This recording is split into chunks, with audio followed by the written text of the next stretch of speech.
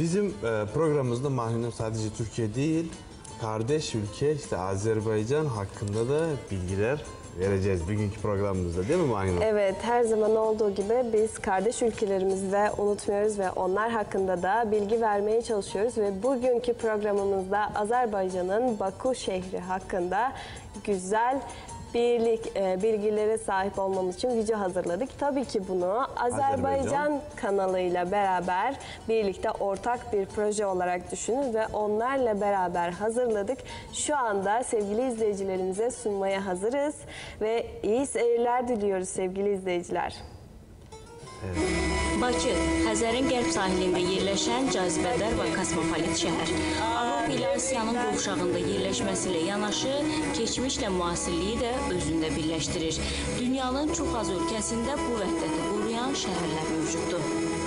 Bakı haradır sualının ən real cavabı buradır desək bəlkə də yanılmarıq. İçəri şəhər Dövlət Tarix Memarlıq Qoruğu, Qədim Bakı.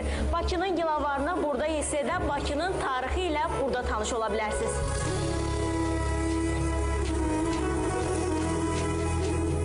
Əsrlərə şahidlik edən dar küçələr, dalanlar. İlk yaşayışın nə vaxtdan mövcud olduğu bilinməsə də, 8-9-cu əsrdə artıq şəhər kimi sıx məskunlaşılmışdı içəri şəhərdə. Bakı xanlığının paytaxtı olan qədim şəhərdə sənətkarlıq, ticarət inkişaf etmişdi. Hazırda qoruq ərazisi kimi fəaliyyət göstərən qədim şəhər 221 min kvadrat metr əraziyə malikdir. 1300-dən çox ailə yaşayır. Bununla yanaşı turistlərin ən çox üz tutduqları məkanlardan biridir içəri şəhər. Qədimliyin fonunda rəngarəng həyat bəxş edir insana.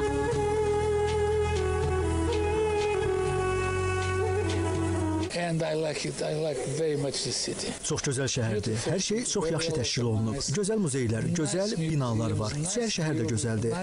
Əsrarəngiz şəhərdir. Bu gün biz Heydər Əliyev mərkəzində Xalça muzeyində olduq. Sabah daha çox yerlər gəzəcəyik. Biz səfərimizdən çox məmnunuq. Havanın temperaturu çox əlverişlidir. İnsanlar çox mehribandır. Mən hər kəsə bura gəlməyi tövsiyə edirəm. İçəri şəhər təkcə qədim yaşayış yeri deyil, eyni zamanda qədim abidələrlə zəngin ərazidir.